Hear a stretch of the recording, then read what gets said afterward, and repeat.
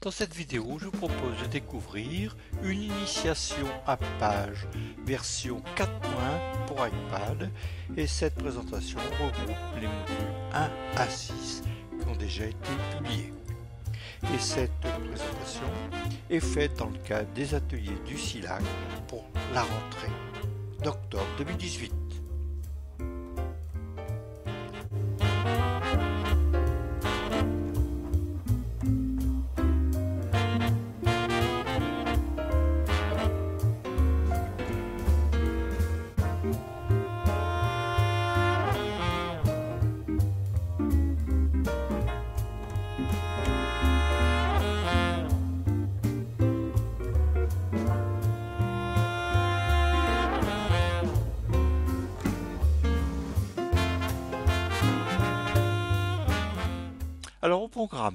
Nous allons voir les fondamentaux du traitement de texte, c'est-à-dire les polices, les tailles des polices. Nous verrons les majuscules et minuscules, les majuscules accentuées, la ponctuation, les paragraphes, l'alignement du texte. Nous verrons aussi les grandes fonctions de page pour iPad et nous découvrirons quelques informations de base pour devenir une parfaite secrétaire. Alors, c'est quoi Page pour iPad? C'est une application de traitement de texte éditée par Apple. Page fait partie de la suite eWork qui contient aussi Keynote et Numbers. Et Page est gratuit pour iPad et iPhone. Et Page est gratuit aussi pour les Mac modernes, c'est-à-dire ceux qui sont supérieurs à fin 2013. Page peut lire des documents Word, Page peut exporter un document Page en format Word, et les documents Page peuvent être stockés sur l'iPad ou dans le nuage Apple, iCloud Drive, ou dans un autre nuage comme par exemple OneDrive, Dropbox, etc. Page peut servir à écrire des notes, des lettres ou des livres. Le format de page est .page ou EPUB en export ou Word, import ou export, ou PDF en export, ou RTF, là aussi en export. Et Page gère des versions pour les documents qui sont enregistrés sur Cloud Drive. Et Page permet d'insérer des images ou des photos, des vidéos et du son. Et le texte peut habiller une image comme dans tout traitement de texte moderne.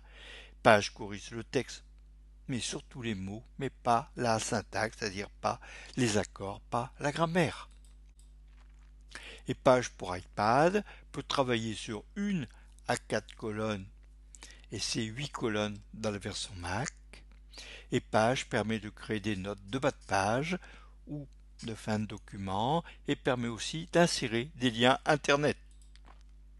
Et Page peut aussi créer des tableaux et les principales nouveautés de page sont surtout sur le partage de documents via iCloud, c'est-à-dire le nuage, et la possibilité de travailler à plusieurs sur un document, c'est ce qu'on appelle la collaboration. La version 4.2 de page pour iPad nécessite iOS 11 ou plus, c'est-à-dire bientôt iOS 12. Et notez aussi que Page existe euh, sur iPhone. Et la synchronisation entre les appareils Apple se fait par iCloud, par AirDrop ou par iTunes. Avant d'utiliser Page, voyons quelques bases du traitement de texte. Voyons tout d'abord les polices. Une police de caractères regroupe un ensemble de caractères d'un dessin donné et unique. Une police est désignée par son nom, la police Times New Roman, Verdana, Arial, etc. Et les caractères peuvent être de plusieurs tailles, on appelle ça des corps, et la taille est exprimée en points. Voici ici un, un exemple euh, d'un document avec une police Verdana. Ici, c'est la taille du texte qui a été sélectionné et c'est la taille de 10 points. Ici, La commune qui est euh, sélectionnée, c'est une police Verdana qui fait 10 points et qui est en italique. Alors quelques conseils pour le choix de la police pour une bonne lecture. Pour lecture courante, 9 points est le minimum et 14 points c'est le maximum.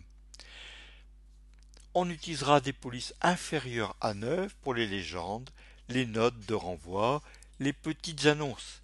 Et les corps de 14 à 96 servent pour les titres, les sous-titres et intertitres. Notez que dans un texte courant, en dehors des titres, intertitres, etc., les capitales sont moins lisibles que les minuscules. Et en conséquence, les minuscules sont plus lisibles que les majuscules, en particulier dans le texte courant, c'est-à-dire en dehors des titres. Un conseil de l'Académie française, on met les accents sur les lettres majuscules, les A, E, etc. Comment on obtient un A accentué sur le, un clavier externe?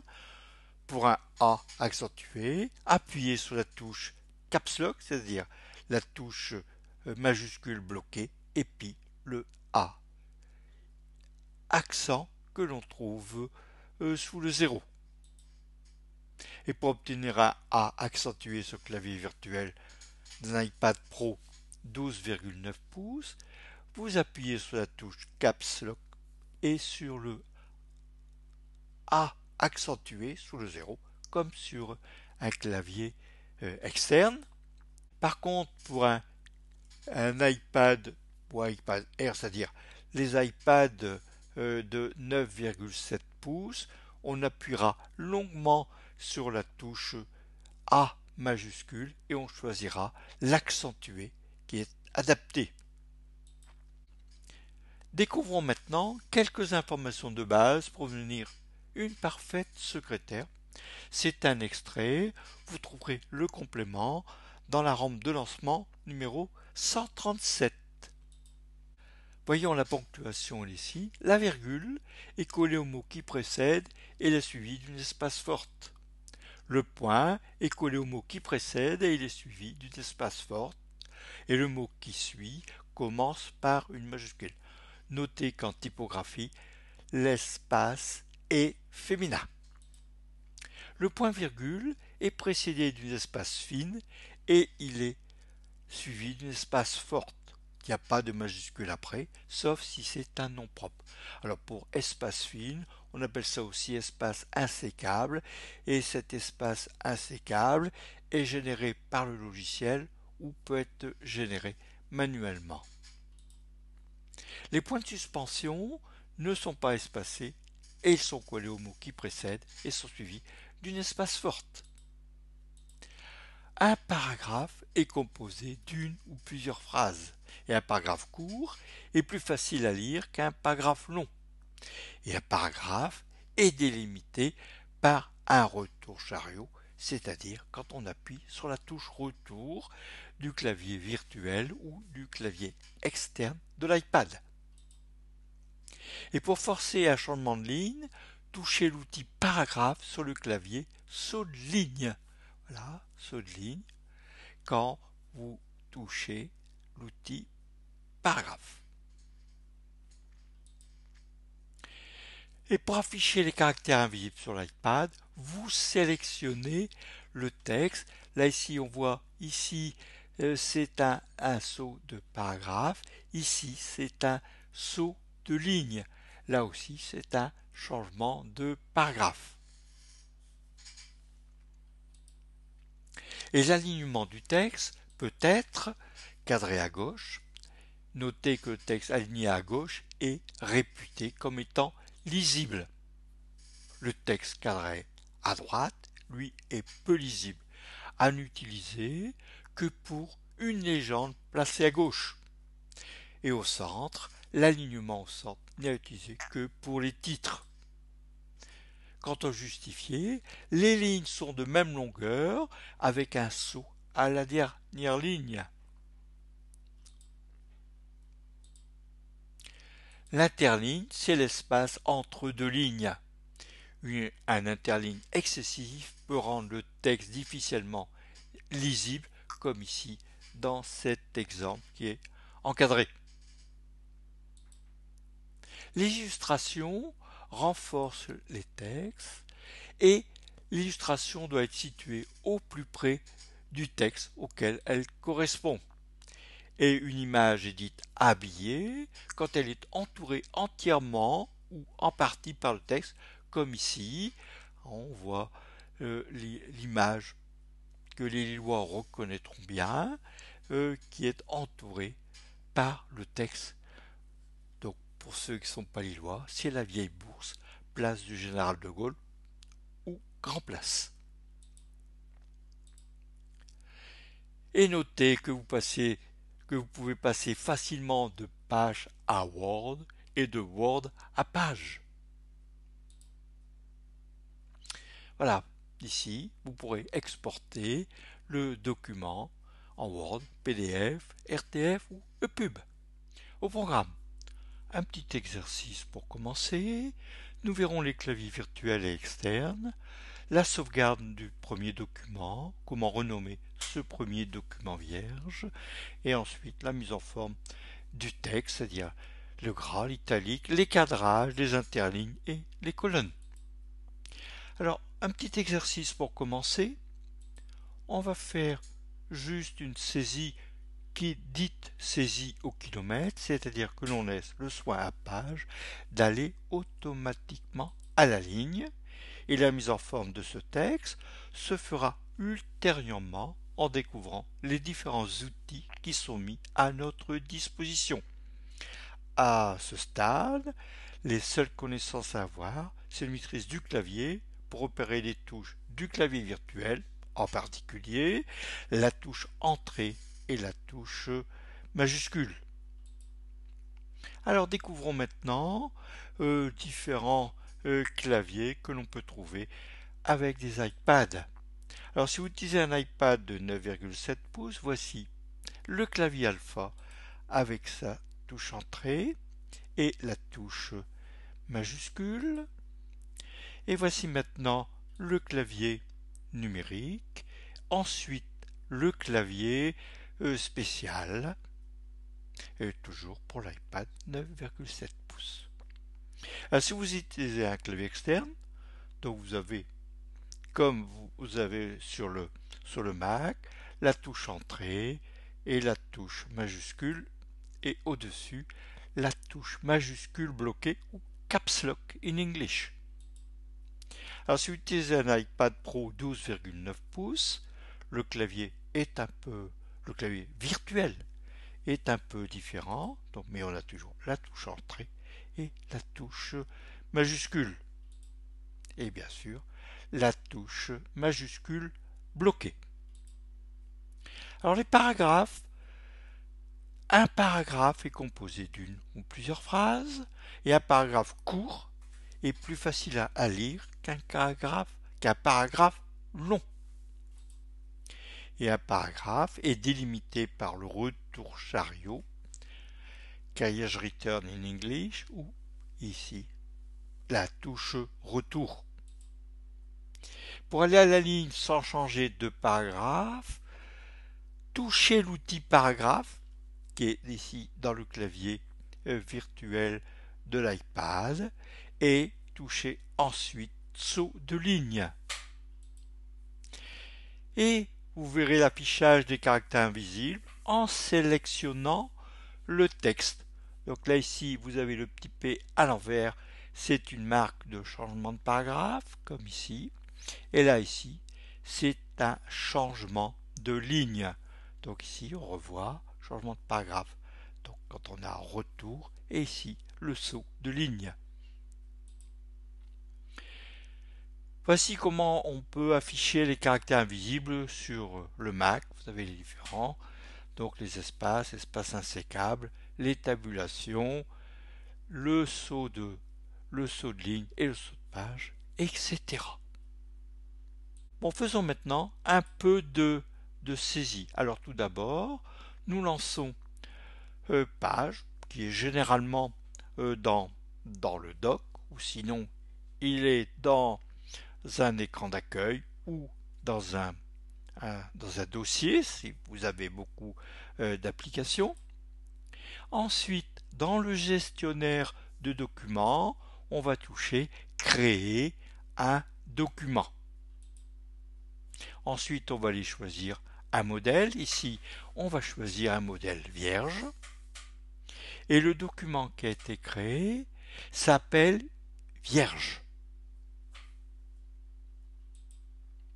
Et voilà, on voit la position du curseur et vous saisirez donc le texte à partir de la position du curseur.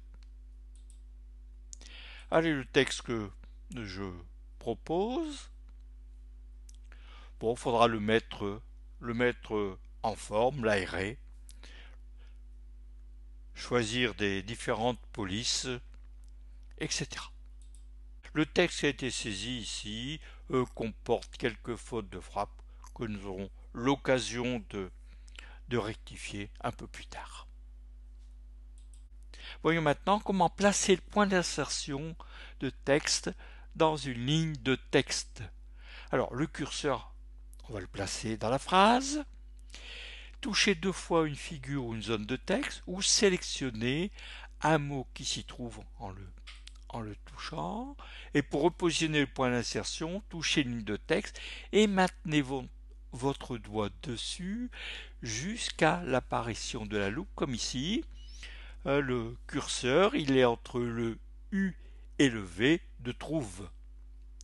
Et faites glisser votre doigt sur le texte jusqu'à ce que la loupe indique que le point d'insertion se trouve à la position souhaitée. Donc ici, entre le U et le V de trouve, et levez le doigt quand c'est terminé. Pour déplacer le point d'insertion, balayez vers la gauche ou la droite d'un doigt pour déplacer le point d'insertion d'un caractère vers la gauche ou vers la droite. Et le point d'insertion, donc on représente ici par la petite barre bleue et la loupe, se déplace dans le sens du balayage. Là ici on va, on va corriger un peu notre euh, texte, donc euh, commune était euh, souligné, on touche le mot commune et page affiche un petit menu pour remplacer. On va toucher remplacer. Éventuellement, page bah, proposera une correction. Donc la correction qu'il propose, c'est commune avec deux M. On touche le petit, euh, le petit menu euh, noir, commune, et le texte sera remplacé. Là, notre curseur est derrière commune qui vient d'être remplacé. À propos des, sauvegardes, notez que les documents pages sont sauvegardés automatiquement sur l'iPad. Bon, ils seront sauvegardés sur l'iPad ou euh, dans le nuage suivant, suivant le cas. Et notez que quand vous créez un nouveau document, il s'appellera vierge. Il faudra bien sûr le renommer. Page, comme je viens de le dire, enregistre automatiquement votre document pendant, votre travail. Vous n'avez rien à faire. Bien sûr, quand votre document s'appelle Vierge ou Vierge et un numéro, il faudra le renommer. L'enregistrement pourra se faire sur votre iPad ou dans un Cloud Drive ou dans un autre nuage. Cela dépendra de l'endroit où le document a été ouvert. Et si vous voulez enregistrer le document dans un autre format que page, vous pourrez l'exporter dans un autre format. Alors pour renommer, bon là c'est une façon de, de faire dans le gestionnaire de documents, vous touchez le document longuement et voyez apparaître un menu et vous touchez ensuite renommer et ensuite vous ressaisissez le texte, donc à la place de vierge, je vais mettre l'île Jo. Quand c'est terminé, vous touchez OK. Et voilà maintenant, notre document vient d'être renommé aujourd'hui à 14h33. Donc là, on est toujours dans le document, enfin dans le gestionnaire de documents, et on est euh, sur mon iPad. Donc sur mon iPad, donc le document l'île OOJO qui fait 117 kilooctets, qui s'est sauvegardé à 14h33, sera enregistré sur mon iPad dans le dossier page. Découvrons maintenant la mise en forme des documents et on va voir en particulier l'italique, le gras, le souligné et les différents cadrages qui nous sont proposés. Alors le choix d'une police, de sa couleur, de la mise en italique, en gras, en souligné ou en barré, se fait sur le texte qui est sélectionné. Par contre, les cadrages se font sur le paragraphe où vous êtes positionné, c'est-à-dire où est positionné le curseur. Mais très souvent, pour des questions, disons, de facilité, on sélectionne le paragraphe, mais il suffit de se positionner dans le paragraphe pour le cadrer. Alors on a deux endroits pour la mise en forme de documents, à partir du clavier euh, virtuel, ici, vous avez différents outils. Alors, les, outils pourront être un peu différents euh, suivant euh, l'iPad. Donc là, ici, c'est les différents outils depuis le clavier. Et en haut, on a, depuis la barre d'outils, on a ici la barre, l'outil qui s'appelle Format. Voici les différents outils qu'on a depuis le euh, clavier virtuel. Ici, on est sur un iPad 9,7 pouces, donc on va dire le standard. Donc ici, en touchant les deux lettres A, on a le menu, un menu déroulant avec taille des polices. Donc actuellement, c'est 10 points. Et on a le choix maintenant pour mettre en gras, c'est-à-dire bolt, en italique ou en U, U souligné, euh, qui est l'abréviation d'underline. Ainsi, dans le cas d'un iPad Pro 12,9 pouces, les outils ici de la barre de la barre d'outils sont un peu différents. Pour cadrer un paragraphe depuis le clavier virtuel, on se positionne dans le paragraphe. Donc là ici pour des questions de facilité, pour bien voir, j'ai sélectionné le paragraphe, je touche l'outil euh, cadrage et ici je vais toucher aligner à gauche si je veux cadrer à gauche. Je vais toucher au centre pour euh, cadrer au centre. Je vais ensuite euh, toucher aligner à droite pour aligner mon paragraphe à droite. Et là ici, c'est pour un texte qui est justifié. Revoyons les différents cadrages. Donc là, c'est à gauche, centré, à droite, et le justifier. Alors le choix de la police depuis le clavier, euh, vous touchez sur les lettres en bas et vous avez ici les différentes polices, dont dans le cas présent, euh, c'est la police Verdana qui est actuellement activée. Depuis la barre d'outils format, voici les différents outils que l'on a. On a la police, ensuite le gras italique souligné et barré, et d'autres outils que l'on verra plus tard. La taille, donc actuellement c'est 11 points, pour réduire la taille, on cliquera, on touchera plus exactement le moins. Pour augmenter la taille, on touchera plus. Ensuite, vous avez le choix de la couleur et le choix des différents cadrages. Et un peu plus en dessous, on a des puces hélices et d'autres cadrages que l'on verra plus tard. Là, le cadrage depuis l'outil format, on touche le pinceau, donc c'est l'outil format, et ensuite on a nos différentes caractéristiques euh, que l'on peut changer, donc gras italique, souligné, etc. La taille ici c'est 11 points, la couleur c'est actuellement la couleur c'est actuellement noir et ici le cadrage c'est actuellement un texte qui est cadré à gauche.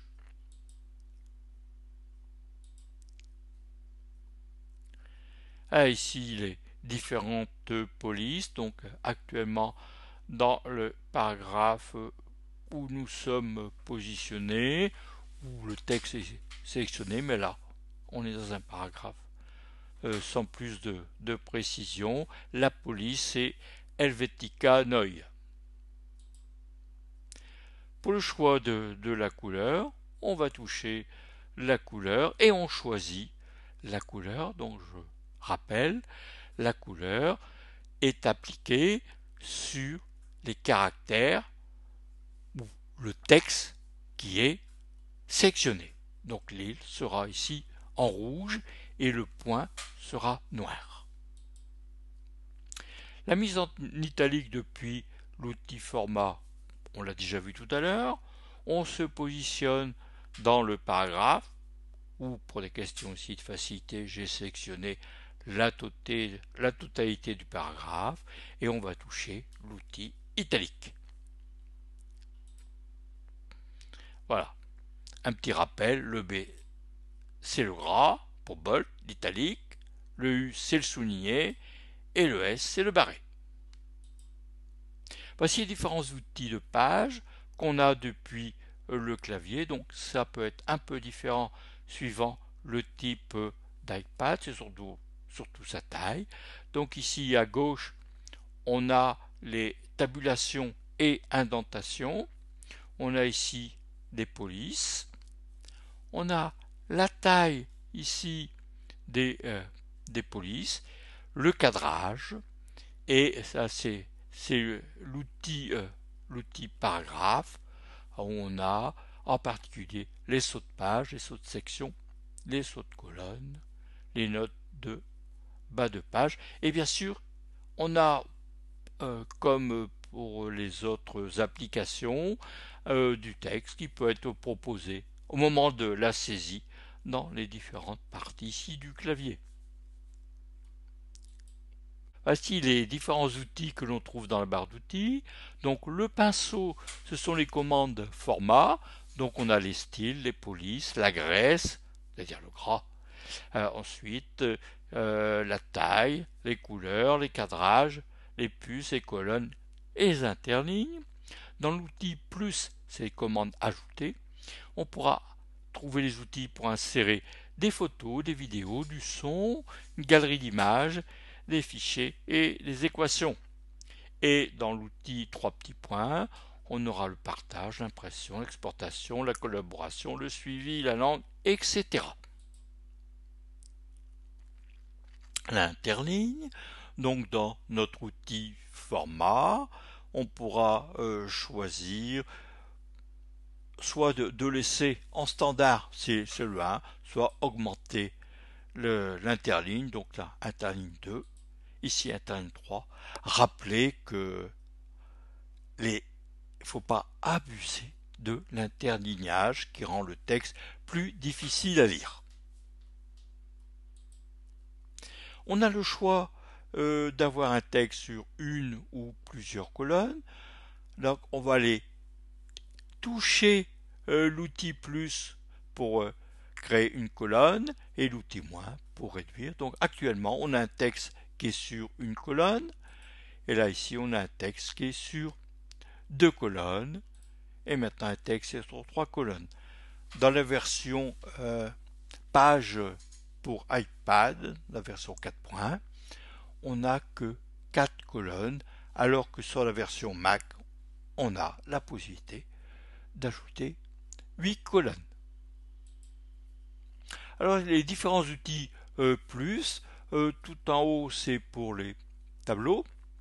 Ici, c'est pour créer des graphiques.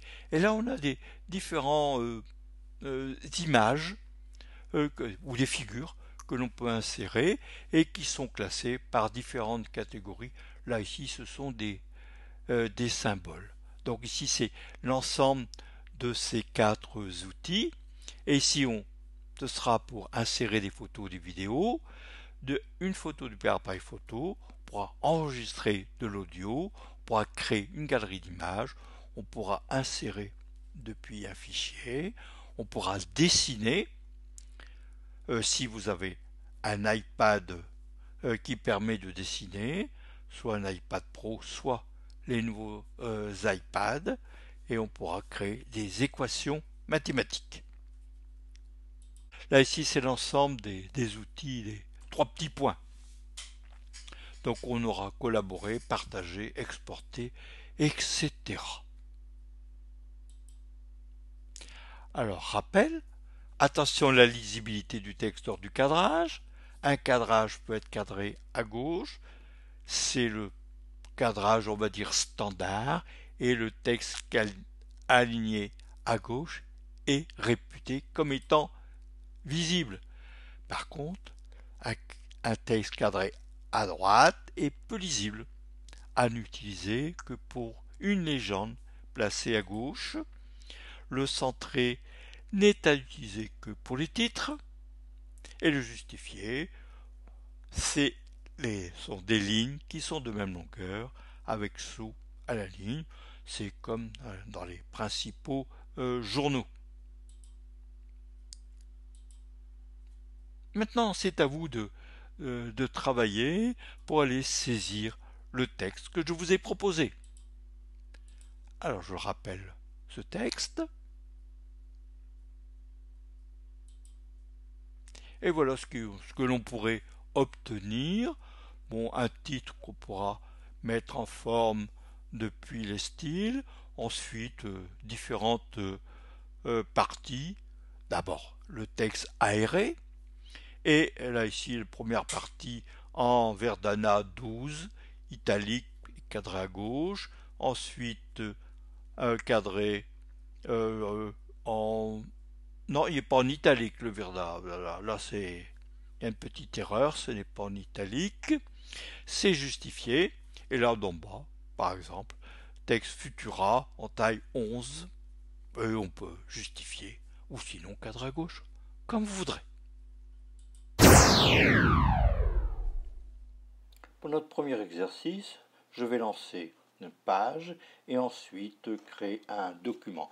Je touche sur emplacement sur mon iPad. Ensuite, je vais remonter un peu plus haut sur le haut de, de mon écran et je touche sur créer un document. Je vais ensuite aller choisir un modèle. Là, ici, je vais prendre le modèle vierge. Là, le modèle est en cours de chargement et le document s'appelle Vierge. Et maintenant, je vais commencer la saisie de mon texte. Alors, je peux me faire aider euh, par les propositions qui sont faites sur le, clavier. Alors, je vais maintenant arrêter la saisie du texte et je vais chercher le reste du texte à mettre euh, pour notre premier exercice, je vais aller le chercher dans un message euh, qui contient la totalité de mon texte. Donc j'ai lancé l'application Mail, j'ai été rechercher le, le, texte en le sélectionnant et maintenant je vais aller me positionner dans mon document. Donc je sélectionne le texte qui a déjà été saisi et je touche l'outil coller. Et voilà, mon texte a été recopié dans mon document page. Notez que le document qui s'appelle toujours Vierge a été enregistré automatiquement euh, sur l'iPad. Dans le gestionnaire de documents, je touche mon fichier Vierge qui s'appelle Vierge et dans l'outil euh, qui euh, s'affiche, je touche Renommer. Et là, je vais remplacer Vierge par le nom du fichier que j'aurais choisi. Le nom de mon document page sera l'île OO-JO. Alors ce texte a été saisi sur un iPad Air sous iOS 11, mais avec page version 4.1. Dans ce texte, il y a quelques fautes de frappe.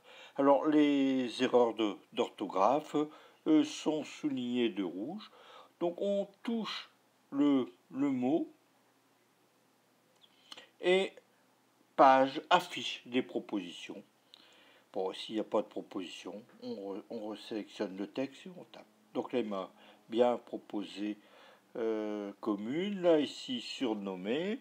Il va me proposer surnommé avec euh, de zem. Et là, il y a encore une erreur. Bon, là, c'est une erreur euh, d'accentuer l'unité et ensuite on aura euh, la correction euh, euh, derrière Paris. Nous aurons l'occasion de revoir un peu plus tard, lors de l'atelier du SILAC, les corrections de texte et bien sûr d'autres choses. Je vais vérifier un peu visuellement mon texte, voir s'il n'y a pas d'autres fautes. Ah, mais si, là il manque un S à habitant et oui, parce que euh, Page ne fait pas la correction euh, grammaticale. Il euh, affiche les erreurs d'orthographe uniquement. Maintenant, je vais aller ouvrir un nouveau document Page et je vais procéder un peu à l'aération du, du, texte parce que tel qu'il est là, il n'est pas très facilement euh, lisible. Donc le texte s'appelle ici maintenant exercice Lille 00. Je me positionne derrière Hauts-de-France euh, point et je fais un retour. Donc j'appuie sur la touche retour, soit de mon clavier virtuel, soit de mon clavier externe, si toutefois j'en ai un. Donc dans le cas présent, on est sur un, un clavier virtuel, mais iPad Pro 12,9 pouces. Je vais maintenant aller euh, changer la police euh, du texte que j'étais ici sélectionné. J'ai touché l'outil euh, police sur le clavier virtuel et maintenant je vais aller parcourir les différentes polices qui me sont proposées et je touche la police Verdana. Maintenant, je vais procéder au changement de la taille des caractères et je mets une taille de caractère 12. Donc maintenant, j'ai une police Verdana et avec une taille de 12 points. Je sélectionne maintenant mon, autre texte et je vais aller changer la police et ce sera encore une police Verdana taille 12. Je vais maintenant aller sélectionner le dernier euh, paragraphe et je vais là appliquer la police euh, Futura.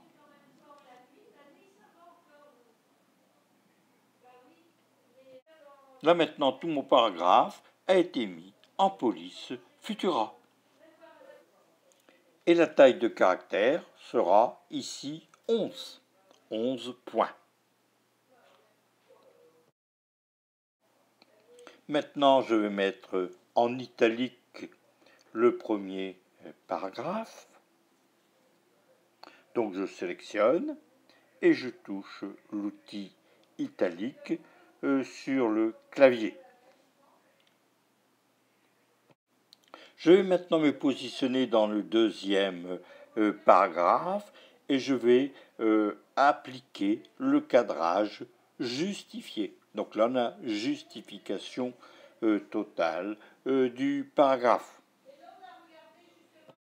Et pour le dernier paragraphe, je vais appliquer le cadrage centré. Donc là, je me positionne dans le paragraphe et je touche au centre. Je remodifie maintenant le cadrage de mon dernier paragraphe et je mets justifié comme le paragraphe précédent. Et maintenant, je vais ajouter un titre à mon document. Donc, je me positionne au début de, euh, mon, de mon texte. Je tape l'île, point, et ensuite je vais faire deux retours. Ensuite, je sélectionne mon, euh, mon texte. Je vais toucher l'outil euh, format, c'est-à-dire le, le pinceau, et je vais choisir pour la police le type de cadrage et enfin le, gras, je vais choisir titre. Donc là, j'ai appliqué le style titre à mon paragraphe lila et je l'ai cadré au centre. Et voilà maintenant euh, l'aspect de mon texte. Donc le fichier s'appelle toujours exercice Lille 00 et comme tout à l'heure, je vais procéder au renommage euh, de ce nom de fichier. Donc dans le gestionnaire de documents, je vais sélectionner mon euh, document en le touchant, donc exercice Lille 00. Je touche renommer et ensuite je ressaisis le texte que je vais appliquer. Donc là, c'est euh, mon fichier va s'appeler exercice Lille 00 aéré 1. Dans cette présentation, nous allons découvrir les tabulations et les indentations, le copier-coller, les listes, le contrôle de l'orthographe, les recherches et remplacements, comment partager un compte rendu et comment imprimer si vous disposez d'une imprimante AirPrint. Alors en typographie, une indentation est un retrait de la première ligne d'un paragraphe. C'est la norme en typographie française, mais pas anglo-saxonne.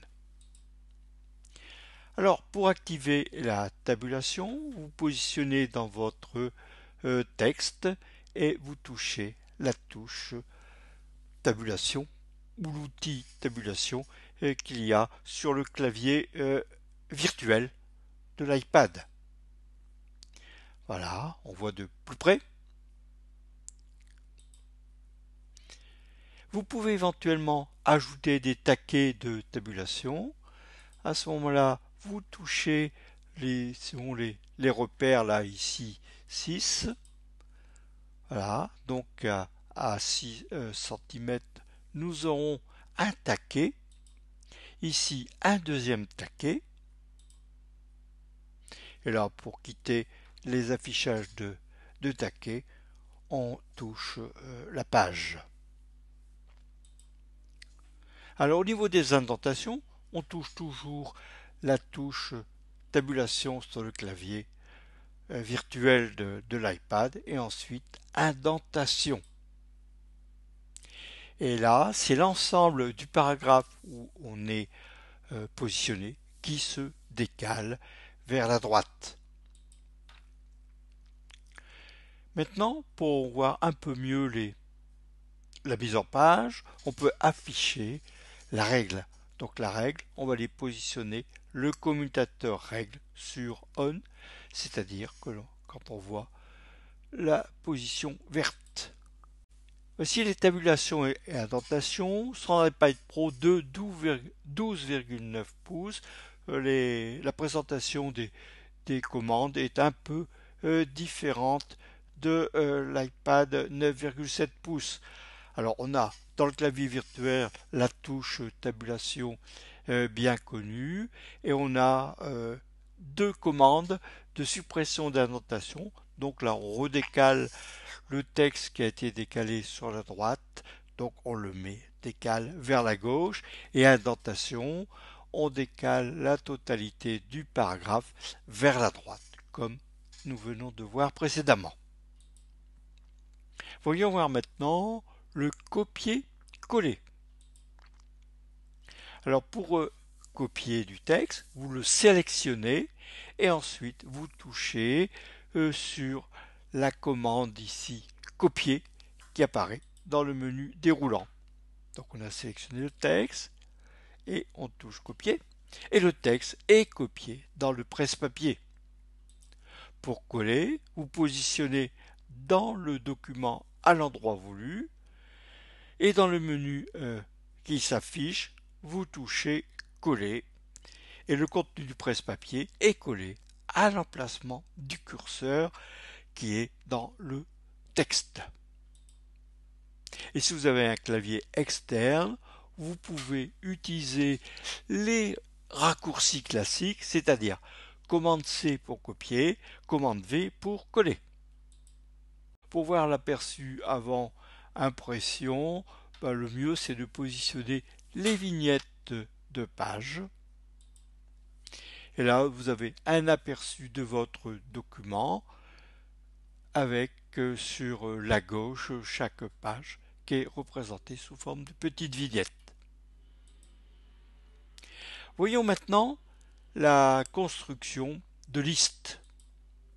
Alors, on peut avoir un texte comme ici, on peut exporter document page en format Word, virgule, en format PDF, virgule, en format RTF, virgule, en format EPUB, mais on peut aussi le mettre sous forme de, de liste euh, qui rend euh, les propositions euh, plus claires au niveau de la lecture. Alors, Lorsque vous avez créé votre liste, vous pouvez aller choisir la puce. Vous sélectionnez le texte et dans la liste à puces, vous choisissez, alors ici, dans le cas présent, on choisit des nombres. Vous pouvez aussi créer des listes à puces numérotées et hiérarchiques.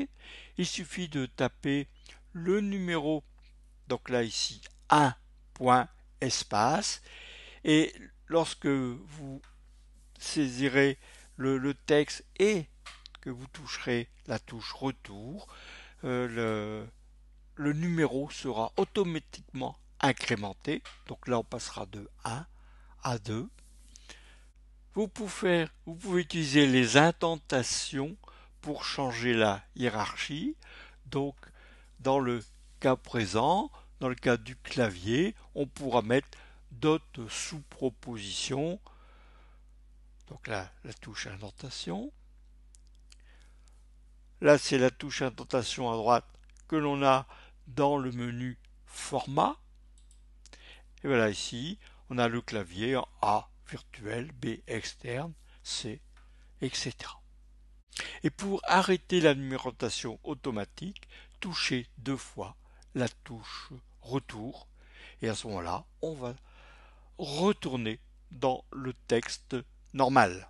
Alors la prochaine diapositive sera une vidéo on reverra la création de listes et les listes ordonnées et hiérarchiques.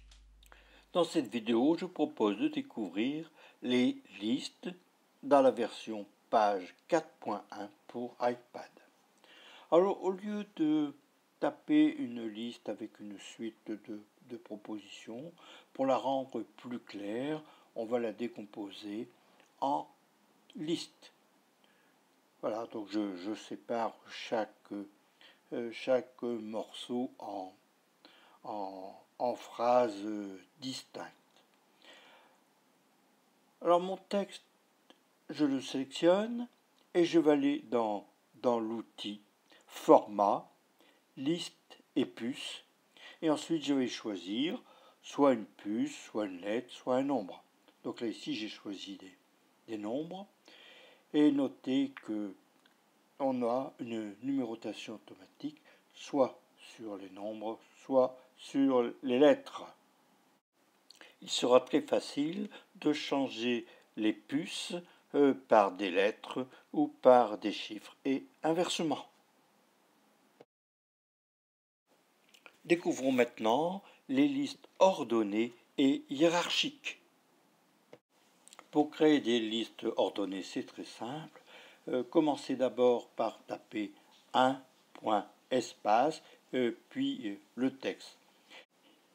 En tapant sur la touche retour à la fin de, de la ligne de texte, cela vous fera incrémenter automatiquement votre liste. Donc là, on passera de 1 à 2.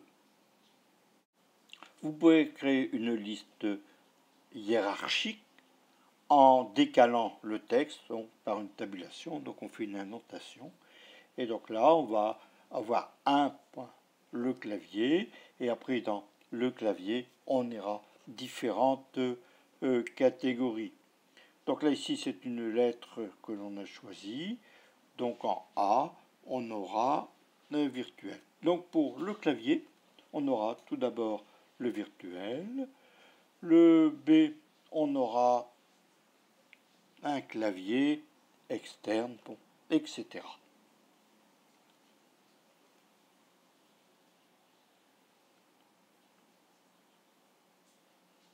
Voilà, donc là j'ai une autre proposition, toujours en tapant sur retour. Donc il est possible de, de modifier euh, la liste et automatiquement les ou les numéros ou les lettres vont s'incrémenter. Donc derrière le clavier virtuel, j'ai une nouvelle catégorie donc, qui commence à, à 1. Et je vais saisir mon texte.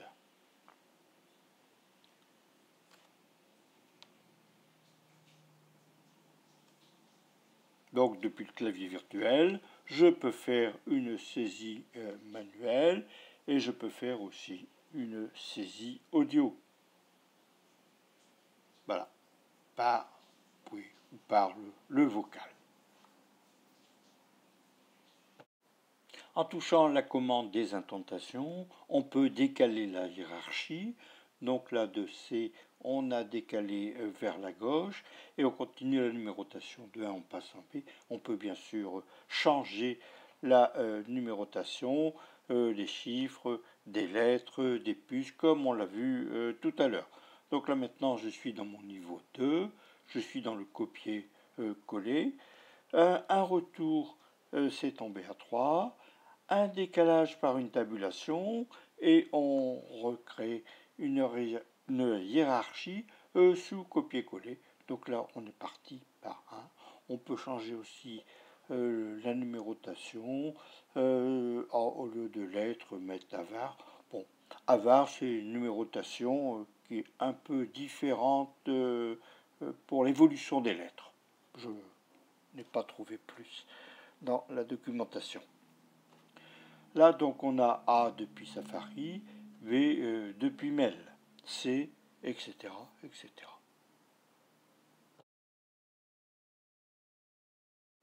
Pour arrêter euh, la liste, touchez deux fois la touche retour. Et voilà, maintenant, on est retombé dans le texte normal.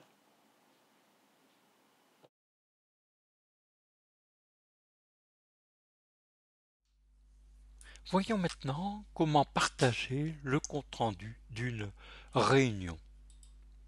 Alors vous avez la lourde tâche d'établir compte rendu d'une réunion. Que faire? Alors vous avez déjà saisi le texte, il faudra vérifier l'orthographe, sauvegarder le document et ensuite partager le compte rendu de différentes manières. Alors tout d'abord nous allons voir les vérifications de l'orthographe. Alors page sur iPad peut signaler les fautes en cours de frappe et les corriger, comme ici euh, tenté. Et Page peut aussi proposer de compléter un mot en cours de la saisie et vous pouvez aussi utiliser les propositions qui sont faites dans les trois rectangles euh, du pavé, enfin du clavier virtuel. Alors pour contrôler l'orthographe, vous touchez l'outil euh, trois, petits points, ensuite correction automatique et ensuite vous allez activer orthographe. Donc orthographe. Et les fautes d'orthographe sont soulignées de rouge, comme ici, activité. Pour corriger, touchez le mot en erreur, puis l'outil remplacer et ensuite toucher la proposition ou les propositions qui sont faites, comme ici, activité sans E. Voyons voir maintenant la recherche et le remplacement de mots. Alors pour activer la recherche, vous touchez les trois petits points, puis recherchez. En bas à gauche, vous indiquez le mot à, rechercher. Donc dans le cas présent, c'est CA espace et vous le remplacez ici par le mot droite, conseil d'administration espace. Pour remplacer un mot, vous touchez remplacer à chaque occurrence trouvée, ou vous touchez le signe plus grand pour passer au remplacement suivant ou pour ne pas remplacer le texte qui est en cours. Maintenant, voyons voir le partage de documents. Vous touchez l'outil trois petits points. Ensuite, vous touchez partager. Et dans les outils qui sont proposés, ici, vous touchez mail. Vous allez compléter le message et vous touchez envoyer. Vous pouvez aussi exporter un document en format PDF, vous touchez les trois petits points, puis exporter, puis dans le format, vous choisissez PDF. Et ensuite, vous pouvez exporter ce document PDF via mail. Si vous disposez d'une imprimante AirPrint, vous pouvez imprimer votre document. Vous touchez trois petits points, puis imprimer. Le choix de l'imprimante dépendra de l'imprimante que vous avez ou des différentes imprimantes que vous avez. Donc là, il s'agit d'une imprimante Photosmart 7510. Vous pouvez choisir euh, d'imprimer une ou plusieurs copies. Suivant les options de votre imprimante, vous pouvez imprimer en recto verso, en noir et blanc ou en couleur. Donc dans le cas présent, il n'y a qu'une seule page. Va imprimer en recto. Au programme, nous verrons la gestion des documents dans page, comment stocker un document dans iCloud Drive, nous verrons la gestion des versions et la gestion des versions d'un document page euh, qui est stocké dans iCloud Drive. Nous verrons ensuite le suivi des modifications d'un document page, bien que le suivi des, modifications étant plutôt utilisé pour le partage d'un document dans le cadre de la collaboration avec d'autres utilisateurs.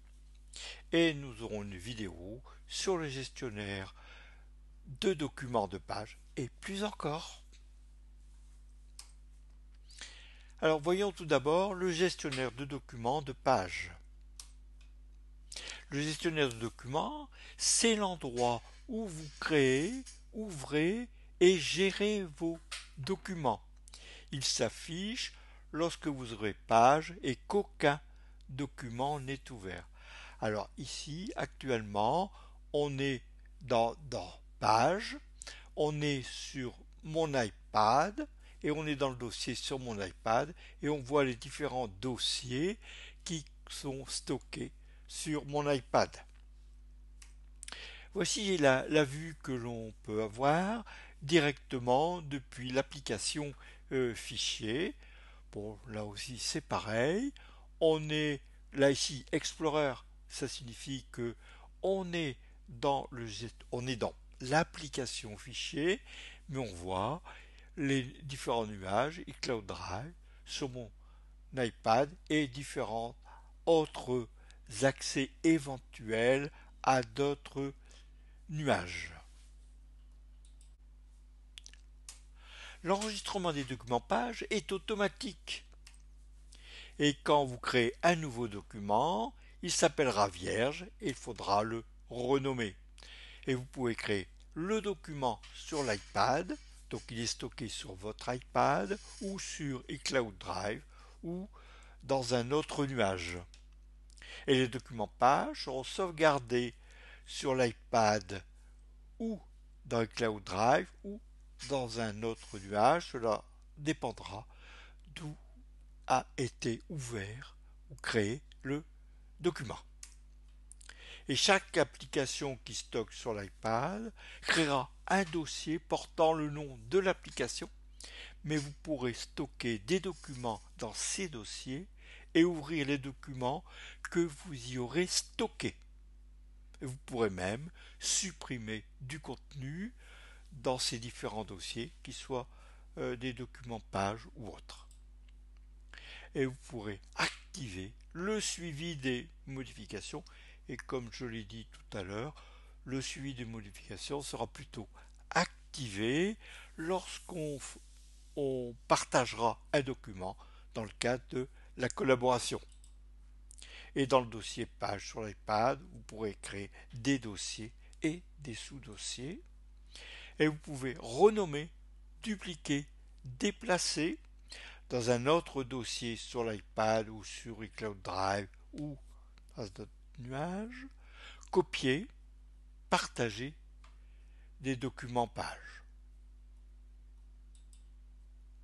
Vous pouvez gérer des versions d'un document à condition qu'il soit stocké sur iCloud Drive. Voici l'affichage des dossiers sur mon iPad. On a déjà eu l'occasion euh, de le voir précédemment. Là, on voit différents dossiers qui ont été créés sur mon iPad et euh, euh, qui concernent différentes applications. Là, ici, on a Adobe, Excel, Number. Là, ce qui va surtout nous intéresser, c'est notre document qui s'appelle, enfin notre dossier plus exactement, qui s'appelle page. Vous pourrez trier l'ensemble des, dossiers. Là ici, on est trié par nom, vous pouvez aussi trier par date, par taille ou par tags. Alors pour créer un nouveau document, vous touchez Créer un document. Ensuite, vous allez choisir un modèle. Donc là, ici, je vais choisir un modèle vierge.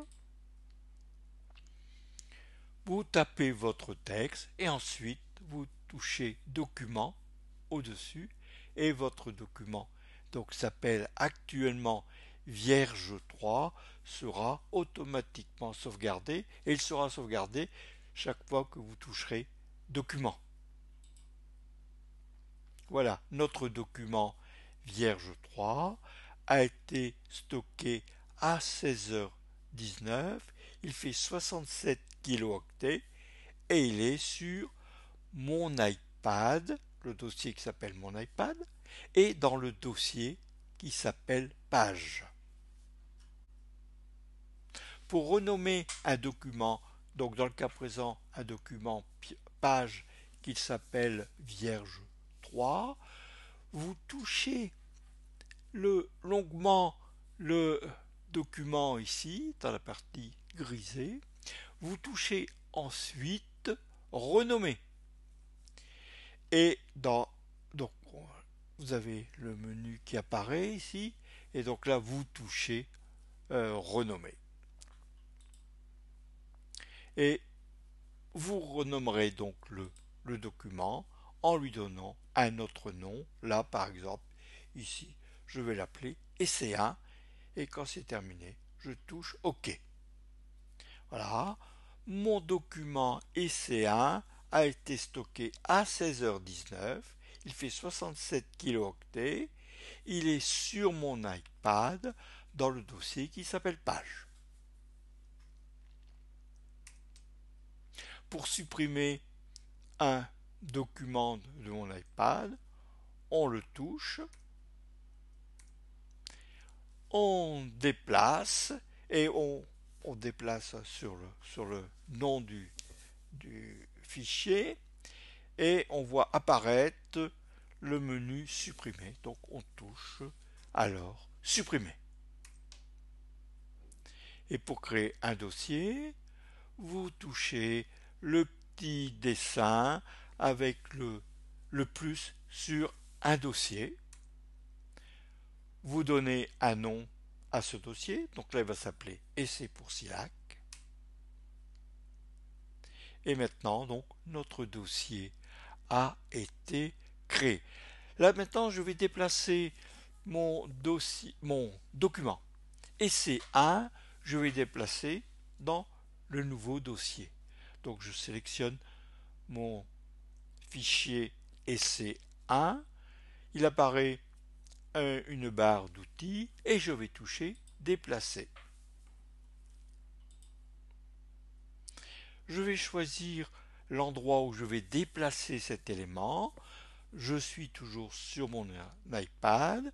Je, je touche ensuite le dossier dans lequel je veux le mettre, donc le dossier page, et ensuite le sous-dossier. Donc je vais stocker mon document euh, page EC1 sur mon iPad dans le dossier page et dans le sous-dossier EC pour SILAC. Et voilà, je vais aller vérifier. Mon document EC1 est bien dans le dossier EC pour SILAC, dans mon dossier page et sur mon iPad. Pour supprimer un dossier sur mon iPad, je le sélectionne, il apparaît un menu, je touche supprimer et mon dossier a été supprimé. De temps en temps, il faut aller vider la corbeille et toutes les suppressions sont dans euh, le dossier qui s'appelle suppression récente. Pour supprimer euh, tout le, son contenu, vous touchez suppression récente, vous touchez ensuite sélectionner, puis tout supprimer ou éventuellement tout récupérer si vous voulez remettre tout ce qui a été supprimé dans les dossiers qui ont été dans les dossiers et les documents qui ont été préalablement supprimés. Donc là, ce qu'on va faire ici, on supprime tout pour vider la corbeille. Et on va confirmer qu'on veut bien supprimer ici les 41 éléments. Maintenant, on va les stocker euh, sur iCloud Drive. On était sur notre iPad, donc dans le dossier, dossier qui s'appelait sur mon iPad. Maintenant, on va les stocker sur iCloud Drive. Alors là, ici, page liste, je vais aller la déplacer dans un autre endroit. Donc je sélectionne, je touche plus exactement mon, fichier qui devient ici euh, grisé. Et dans le menu qui s'affiche, je touche maintenant déplacer. Je vais maintenant aller toucher iCloud Drive. Et dans iCloud Drive, je vais choisir un dossier. Donc là, je vais aller au dossier document. Et donc, mon exercice sera déplacé dans iCloud Drive dans le dossier document. Et là, on peut vérifier que dans document, j'ai bien mon, mon dossier, mon, plutôt mon document page liste euh, que j'ai appelé à tort précédemment exercice. Découvrons maintenant la gestion des versions des documents pages sur iCloud Drive. Je vais d'abord commencer par une petite vidéo et je reprendrai en détail les différentes opérations à mener. Je vais maintenant toucher iCloud Drive, ouvrir mon dossier Et je vois les différents documents qui sont enregistrés. Je vais aller sélectionner le document exercice Lille 1 et je vois apparaître en haut version. Je vais toucher version pour pouvoir aller voir différentes versions existantes de ce document. J'ai sélectionné la version de 21h10 et je vais maintenant aller l'afficher euh, pour voir son contenu. Donc je parcours le contenu de cette version et je vais toucher restaurer pour restaurer mon document page dans la version qu'il existait à 21h10. Reprenons maintenant en détail les différentes opérations. Je suis dans, je suis dans page, je vais toucher iCloud Drive. Et ensuite je vais toucher euh, Yves-page pour aller ouvrir le dossier. Et me voici maintenant dans, le dossier dans lequel je vais les sélectionner, exercice Lille 1. Quand je sélectionne mon, mon, mon document exercice Lille 1, on voit apparaître là-haut version. Je vais toucher maintenant version et je vais voir apparaître les différentes versions de mon euh, document. Je vais aller ouvrir la version de 21h10 pour y aller voir l'aperçu. Après avoir affiché l'aperçu de la version de 21h10, je procède à la restauration. Et voilà, mon document a été restauré à la version qu'il était à 21h10. Maintenant, nous allons découvrir le suivi des modifications. Alors vous touchez euh, tout d'abord les trois petits points, puis suivi des modifications. Ensuite, on va positionner le commutateur suivi des modifications sur on, c'est-à-dire le vert visible. Et je vais maintenant procéder à la sélection d'un paragraphe et je procède à, sa suppression. On voit le texte a été euh, supprimé avec une couleur qui correspond à l'auteur qui a fait cette euh, suppression. Bon, je rappelle que la gestion des, modifications est surtout faite dans le suivi euh, dans le cadre de la collaboration, donc le travail en commun à plusieurs sur un document. On pourra euh, accepter ou rejeter une modification. Là, si je l'accepte, la modification de suppression disparaît. Et je vais pouvoir mettre maintenant la version finale et dans la version finale on voit le document euh, tel qu'il sera présenté sans les modifications ou tout au moins quand toutes les modifications auront été acceptées ou refusées. Dans la prochaine diapositive, nous reverrons une vidéo sur l'ensemble de ce que nous avons vu euh, au niveau de la gestion euh, des documents euh, sur page version 4.1. Dans cette vidéo, je vous propose de découvrir le gestionnaire de documents de page, les relations avec l'application Fichier, iCloud Drive, le suivi des modifications, les versions et les relations avec OneDrive. Je lance mon application euh, page et j'arrive donc dans le gestionnaire de, documents. Je vais y toucher un document pour l'ouvrir. Ce document est actuellement stocké euh, sur mon iPad. Je vais maintenant procéder à l'enregistrement de mon document page dans iCloud Drive. Pour cela, je touche l'outil e plus, puis partager et ensuite je touche Fichier. Dans l'application Fichier, je vais aller toucher iCloud Drive et je vais aller choisir maintenant un dossier. Je vais toucher donc mon dossier page, puis le dossier if-page. Je touche Ajouter pour enregistrer mon document dans le dossier choisi. Pour terminer, je touche Document et je me retrouve dans le gestionnaire de documents. Je vais maintenant toucher iCloud Drive, ouvrir mon dossier Yves-page et je vois les différents documents qui sont enregistrés. Je vais aller sélectionner le document exercice Lille 1 et je vois apparaître en haut version. Je vais toucher version pour pouvoir aller voir différentes version existante de ce document. J'ai sélectionné la version de 21h10 et je vais maintenant aller euh, l'afficher euh, pour voir son contenu.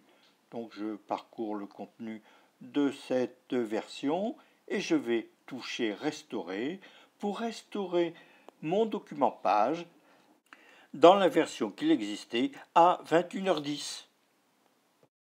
Je vais maintenant activer le suivi de modification. Je touche l'outil plus, puis l'outil suivi des modifications et je vais ensuite positionner le commutateur suivi sur on, c'est-à-dire le vert apparent. Je vais maintenant euh, procéder à la suppression d'une partie du document. Je sélectionne le texte à supprimer et je touche supprimer. On voit que dans la partie gauche, il y a un trait vert et que la partie document qui a été supprimée est barrée et est en vert. Et le vert correspond à la couleur de l'utilisateur qui travaille actuellement sur le document page. Je vais maintenant procéder à d'autres modifications dans le document. Je sélectionne géographie et je vais appliquer la couleur rouge. Voilà. Géographie est maintenant rouge. Je vais maintenant les modifier euh, situation et changer aussi ses caractéristiques d'affichage. Donc là, c'est euh, surligné en vert. Je vais maintenant procéder à l'aération un peu de mon texte en insérant quelques retours dans le document. Voilà un premier, on voit toujours un petit trait vert, et là un deuxième retour, et on voit là aussi qu'il y a eu un petit trait vert soulignant la modification. Je touche maintenant document, et le document page que je viens de modifier est enregistré dans l'iCloud Drive. Maintenant, je vais examiner les modifications qui ont été apportées. Je touche soit la barre verte qui est à gauche, soit le texte pour voir apparaître un petit menu. Et là, je pourrais accepter ou rejeter la modification. Là, ici, j'ai rejeté la modification. En conséquence, la suppression sera supprimée.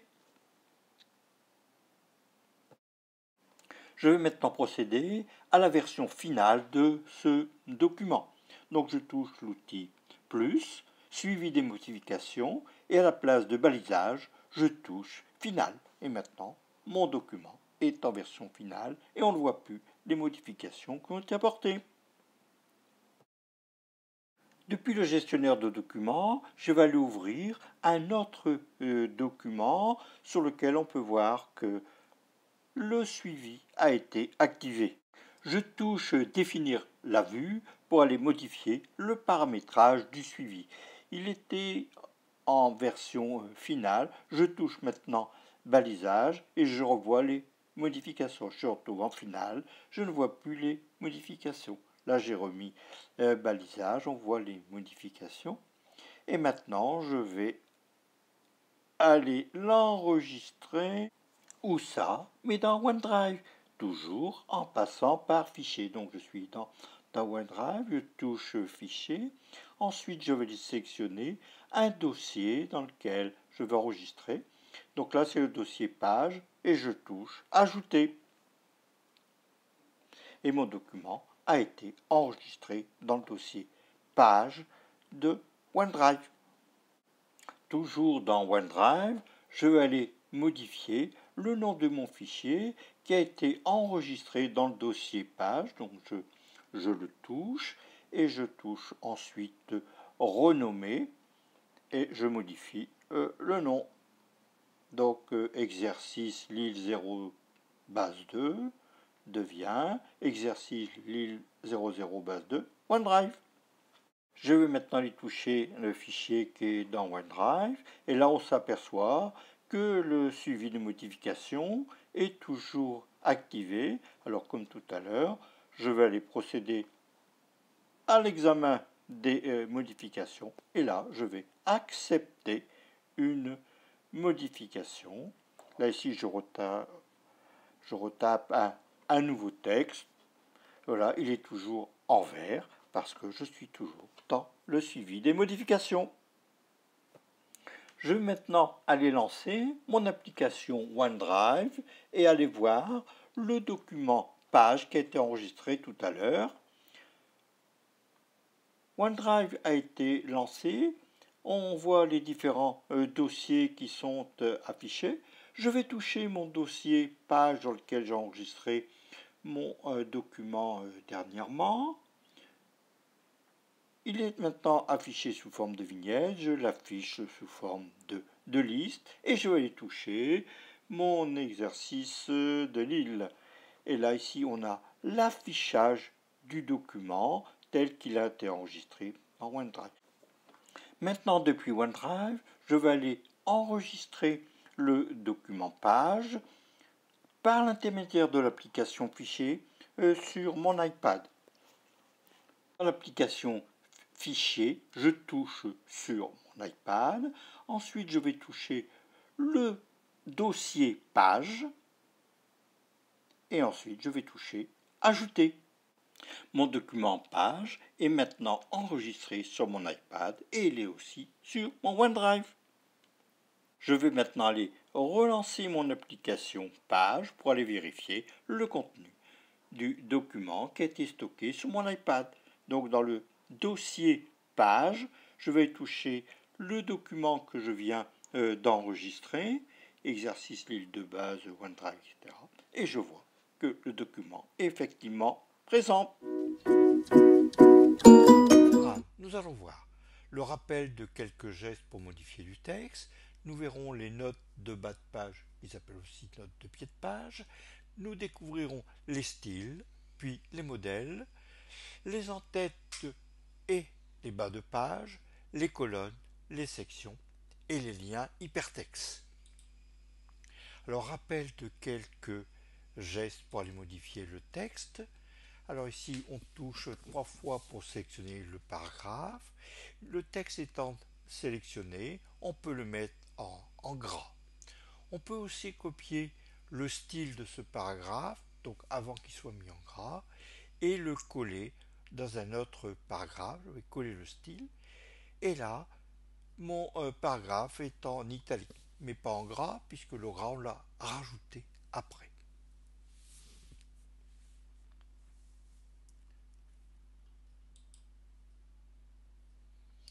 Pour aller modifier du texte, on va toucher l'écran, on va se déplacer quand on a euh, la, la, loupe pour se placer à l'endroit voulu pour aller modifier. Donc là ici je vais me mettre entre les deux 1, je fais un retour, un retour arrière et je tape mon, point. Et pour sélectionner un un mot, je le touche deux fois, donc là j'ai touché deux fois, deux fois l'île, et je peux déplacer les poignées, donc de l'île jusque la quatrième agglomération de France, et le mettre en gras. Donc voilà, j'ai mis en gras la sélection. Et bien sûr, on a le classique zoom avec deux doigts pour augmenter ou diminuer l'affichage de la page.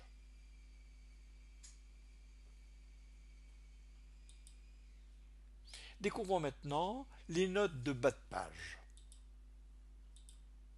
Alors un document peut contenir des notes de bas de page, ou qui s'appellent aussi pieds de page, qui apparaissent au bas de la page, ou des notes de fin qui apparaissent à la fin du document ou à la fin d'une section. Et vous ne pouvez pas mélanger les notes de bas de page et les notes de fin dans un document, mais vous pourrez convertir toutes les notes d'un document d'un type à l'autre. Alors ici, je vais insérer une note de bas de page derrière, derrière mail. J'ai mon petit euh, curseur bleu qui, qui s'affiche. Je touche ensuite euh, l'outil paragraphe et enfin l'outil note de pied de page. En bas apparaît un petit rectangle avec la première note à compléter. Donc là, comme c'est la première note, elle a le numéro 1. Donc je vais saisir mon texte. Voilà. Mail, métropole européenne de Lille. Là ici, je vais saisir une, une deuxième note. Là, je me suis placé derrière conurbation. Et donc, euh, j'explique dans conurbation la signification, agglomération composée de plusieurs villes. Alors on peut aussi insérer des notes intermédiaires entre deux notes et dans ces cas-là, les notes sont renumérotées. Donc là, je vais me placer derrière 1er janvier 2014. J'ai mis euh, source INSEE, donc ça devient euh, juste avant, on a mail, qui est note de numéro 1, et juste après, on a source INSEE qui devient note numéro 2, et ma, note conurbation sera à ce moment-là renumérotée en numéro 3. Et voilà, on voit que mail c'est le numéro 1, 1er janvier 2014 c'est le numéro 2, et puis on a la conurbation ici numéro 3. Ah, mail, conurbation. Et voilà, on a dans le bas, euh, dans le bas de la page nos quatre euh, explications de notes de bas de page, que entre deux, euh, j'avais ajouté une explication pour Courtrai en flamand. Je ne suis pas sûr de la bonne prononciation. Maintenant, voyons voir le paramétrage des notes de fin. Donc vous touchez, vous positionnez d'abord dans une, dans une note, ensuite vous touchez l'outil euh, format, c'est-à-dire le pinceau, et note de, bas de page. Et si on voit les, différents types, c'est une note de pied de page, le format c'est numérotation 1, 2, 3, et c'est une numérotation continue. Voilà. On revoit en détail le paramétrage. Donc dans type, c'est note de pied de page ou une note de fin de document ou une note de fin de section. Ensuite, là, c'est les différents formats, disons, de numérotation. Donc, c'est euh, des chiffres arabes ou des petits, des petits i, des petits i ou d'autres ou d'autres signes. Et ensuite, on pourra choisir si la numérotation est continue, donc c'est-à-dire dans l'ensemble euh, du document, ou si on redémarre à chaque page, ou si on redémarre la numérotation à chaque section. Voici mes notes de bas de page, ou pied de page, donc avec mes euh, quatre notes de pied de page. Voici euh, comment se présente une note de fin de document.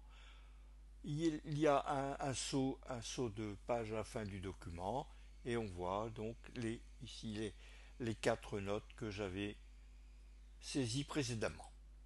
Et là, une note de fin de section.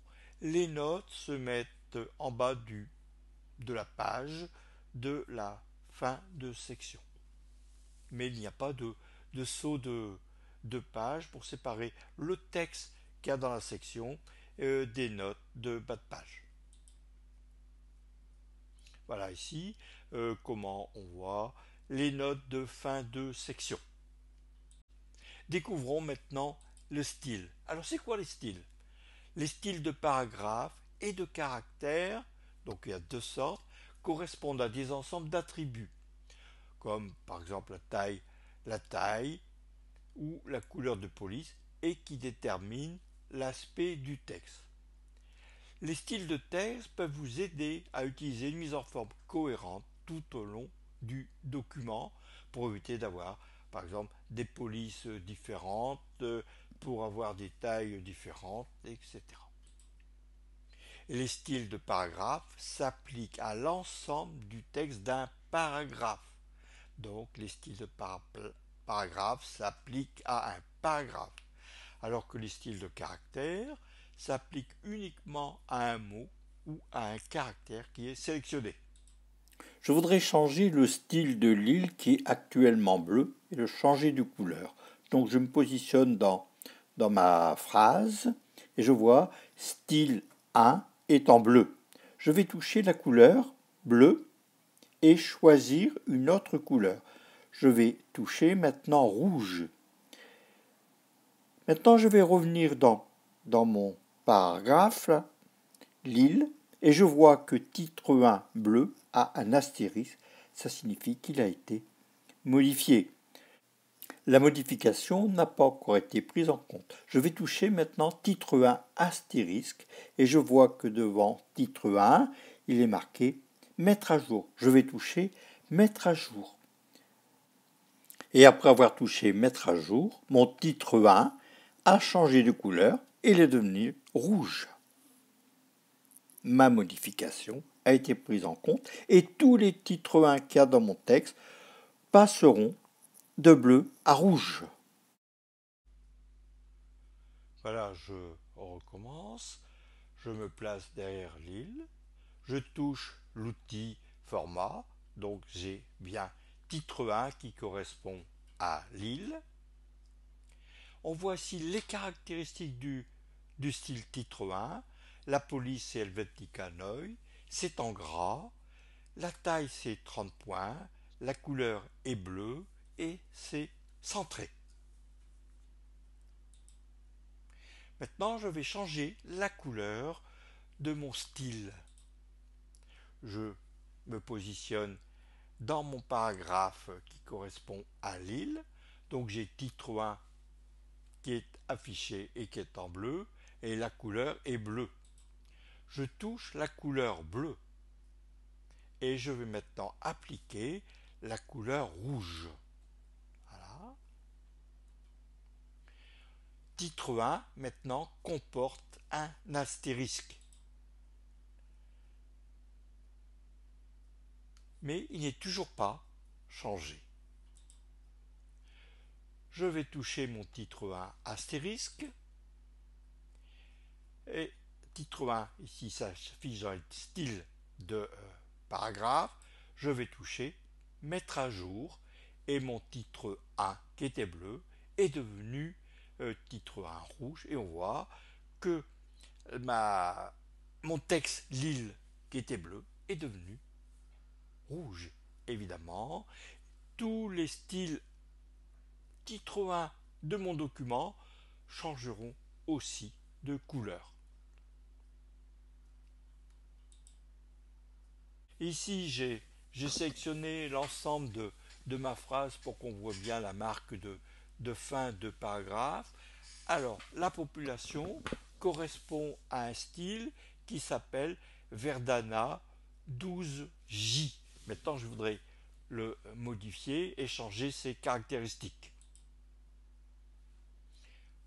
J'ai changé les caractéristiques, donc la population est devenue mon texte qui correspond au style Verdana 12J a été modifié. Donc il apparaît ici avec euh, la, taille et c'est une Velticanoï, c'est en, en gras, c'est une taille de 18 points et c'est rouge. Et le texte sera justifié, bien que ce ne soit pas très apparent ici. Découvrons maintenant la création d'un nouveau style. Je vais modifier le style de la population qui s'appelait Verdana 12J. Je change de police Helvetica Noi. Je vais changer maintenant la taille de euh, la police, donc qui est actuellement de 12 points. Je vais le porter à 18 points. Et on voit là que le nom euh, de, la police, euh, Verdana 12J, a maintenant un astérisque et a changé de caractéristique. Je vais maintenant aller changer la couleur de de la, enfin, du style, donc qui correspond à la population. Je touche maintenant une partie de mon document dans la partie blanche. Je touche maintenant le style V, 3 petits points de J. Je touche modifier en haut à droite. Je touche plus. Le nom du style a été modifié, un 1 s'est rajouté et je vais taper à la place titre 2 et je termine en touchant OK. Le style titre 2 a été créé, donc il correspond ici à la population. Et si je vais maintenant sur l'île, je vois que j'ai titre 1 PM. Alors on va recommencer l'ensemble du processus. Les caractéristiques de euh, ma police ont été euh, changées. Je touche cette police, le nom de la police avec l'astérisque.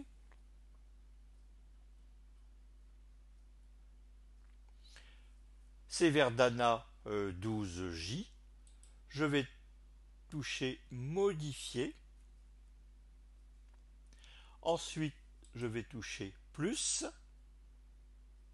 Et je vais remplacer Verdana 12J 1 par titre 2. Et ensuite, je termine en touchant OK.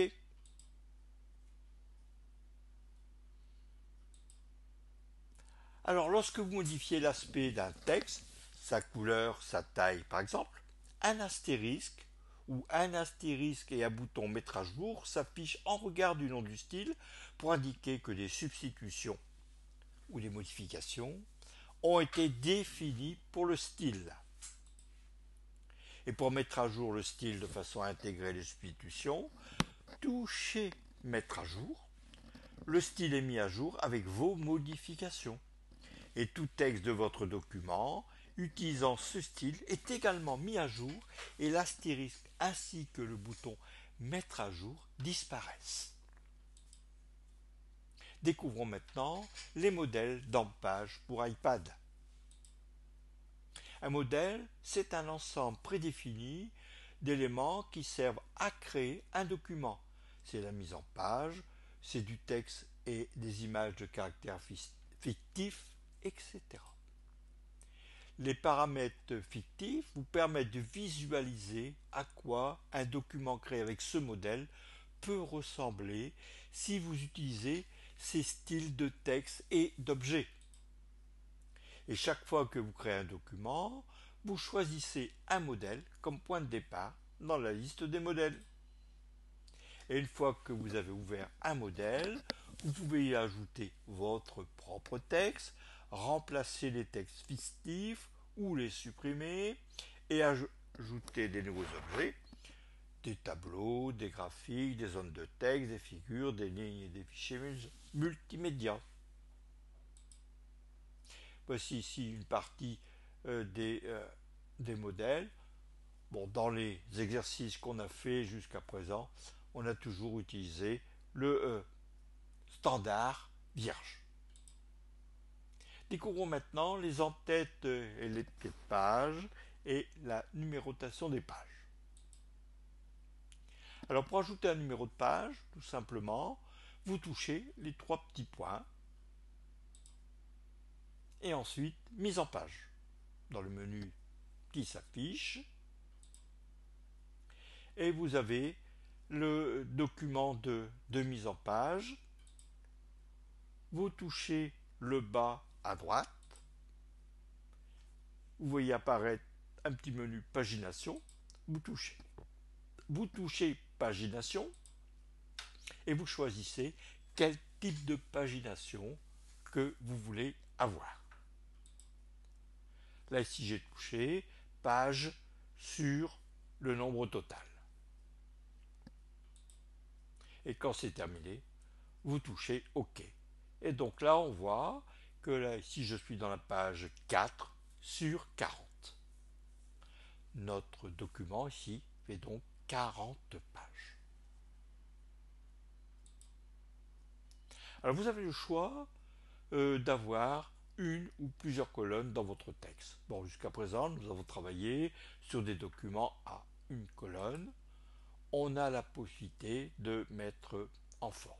Alors, vous pouvez mettre en forme un document ou des paragraphes sélectionnés en disposant le texte et les graphiques sur deux colonnes ou plus avec un maximum de 4 pour la version euh, page pour iPad. Donc en touchant euh, l'outil format, on voit apparaître ici euh, ces paramètres colonnes. Donc on va toucher le plus pour ajouter une colonne et le moins pour en retirer dans la mesure où on a plus d'une colonne.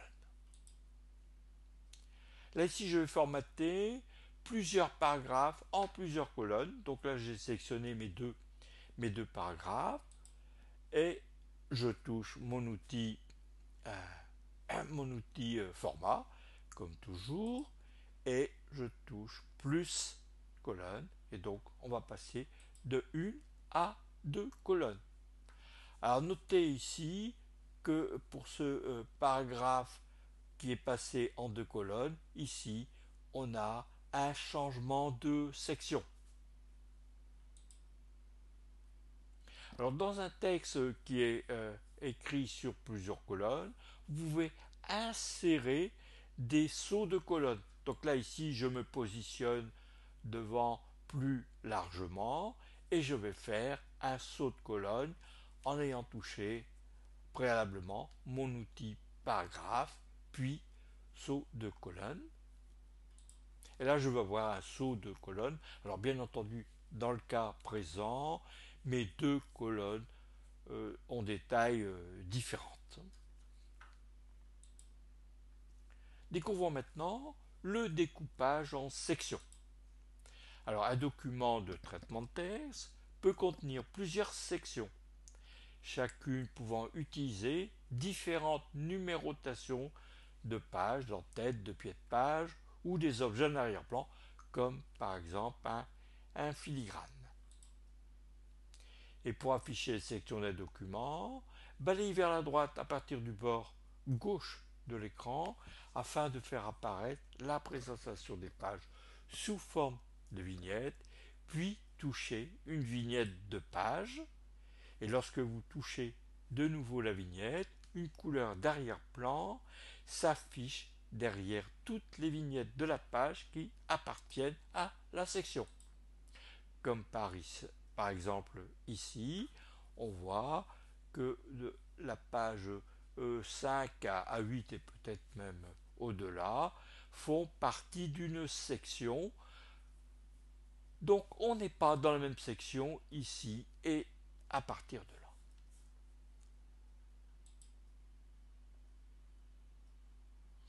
Pour insérer un saut de section, vous positionnez dans votre texte, vous touchez l'outil paragraphe et vous touchez saut de section.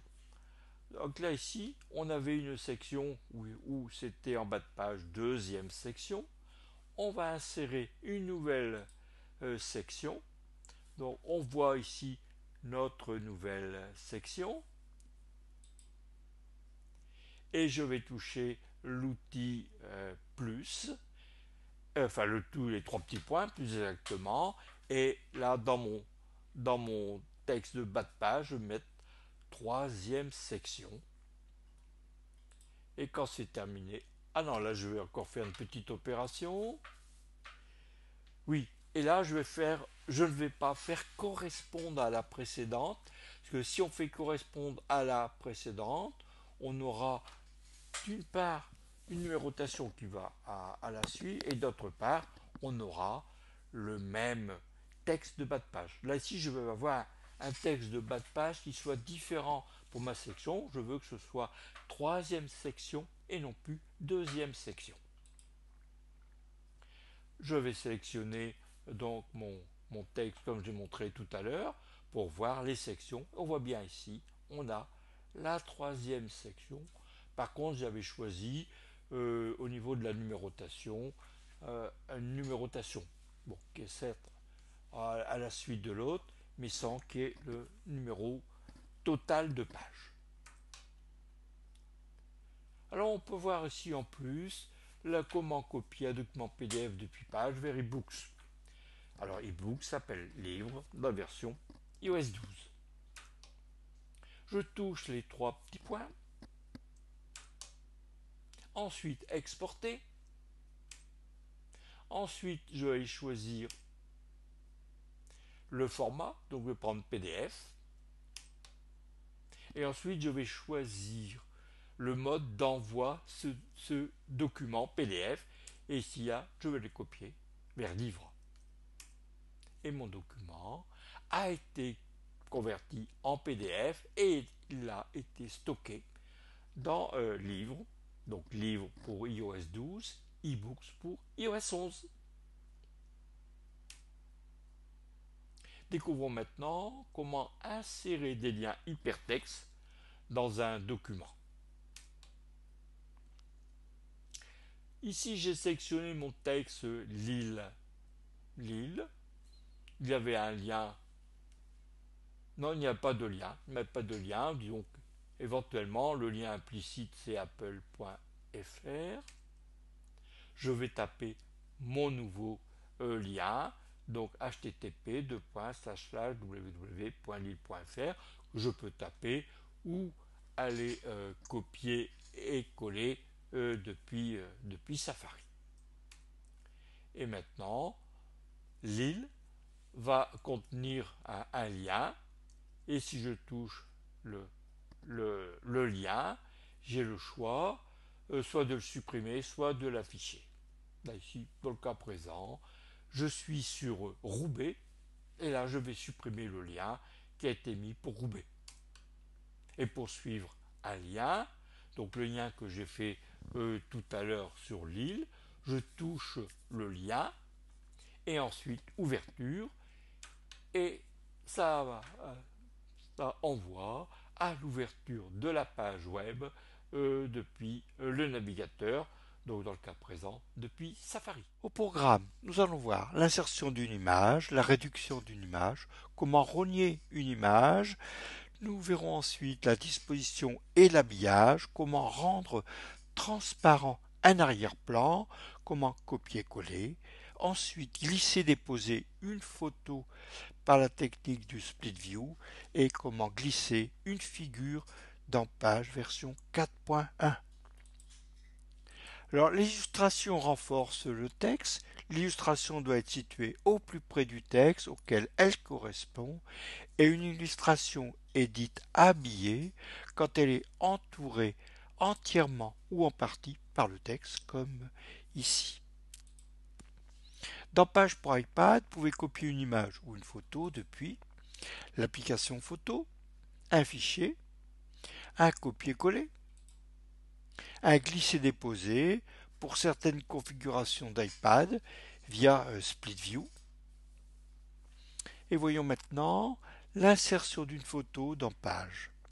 Vous touchez l'outil plus et ensuite photo ou vidéo. Et vous allez ensuite euh, choisir une photo dans un album. Là, si je vais choisir les vues. Et dans cet album, je vais aller choisir une photo. Voilà, ma photo est maintenant insérée dans mon document page. Je peux maintenant aller choisir un style à appliquer à cette photo.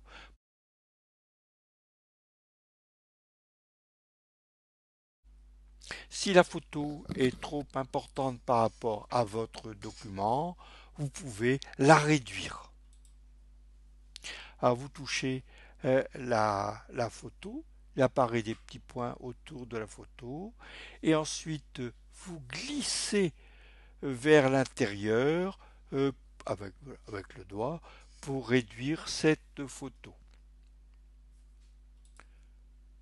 Voilà, une deuxième opération et une troisième opération la photo a été réduite.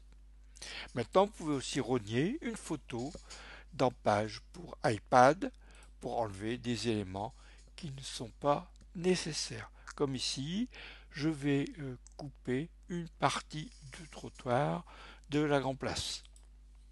Je touche la photo et ensuite je vais me déplacer du bas vers, vers le haut pour réduire la photo et on voit que la partie qui est invisible est maintenant en grisé. On peut aussi appliquer un style à une image, comme on l'a vu tout à l'heure, on peut y appliquer différents effets, des effets de reflets, des reflets d'ombre, mettre une bordure. Et là ici, c'est le style qu'on a appliqué euh, tout à l'heure. Là ici j'ai appliqué euh, le, style donc photo euh, mal collé sur du papier. On peut choisir l'échelle, donc là aussi, on peut mettre une ombre, un reflet et choisir l'opacité.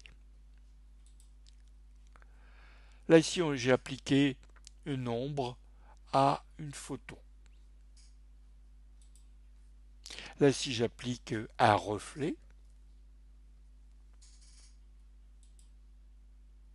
Et voyons voir maintenant comment euh, habiller une photo dans page. On sélectionne la photo et on touche l'outil format disposition. Alors ici on est dans la disposition classique au-dessus et en dessous. C'est-à-dire le texte se met au-dessus de la photo et en dessous de la photo. Voilà mon style classique. On peut faire un habillage en touchant autour. Et ensuite, on pourra déplacer cette euh, photo dans le texte. Et là, on verra que le texte se met autour de la photo. Voilà ici un autre, un autre effet avec une partie du ciel qui a été rendue transparent. On pourra aussi choisir le retournement horizontal d'une photo. Donc toujours dans l'outil format, disposition, on fait retournement horizontal ou retournement vertical. Là ici je fais un retournement horizontal. Et voilà, ma photo a été retournée horizontalement.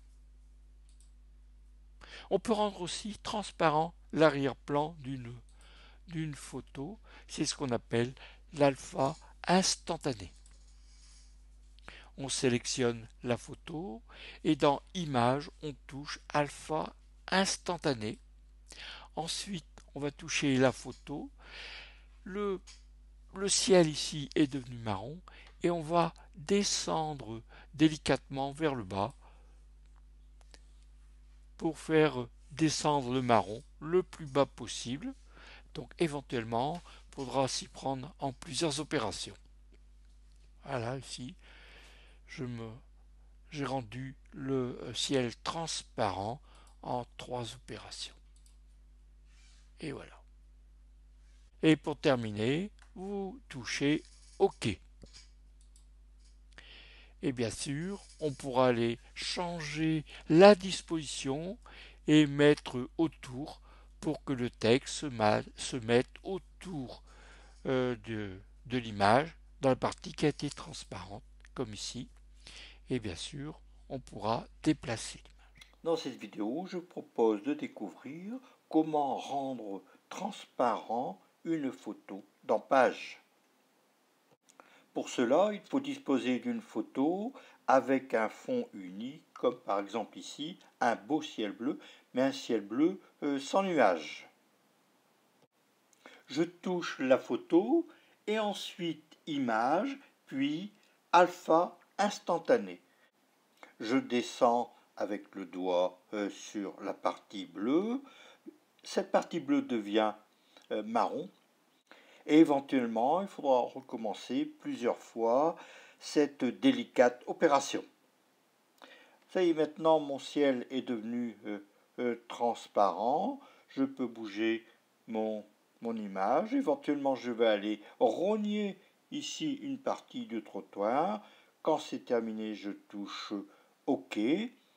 Et maintenant, je vais déplacer euh, le texte autour de l'image en allant sur Disposition et en, en touchant Ajuster le texte autour. Voilà, je déplace le texte et le texte, plus exactement, je déplace l'image et le texte se met autour de mon image.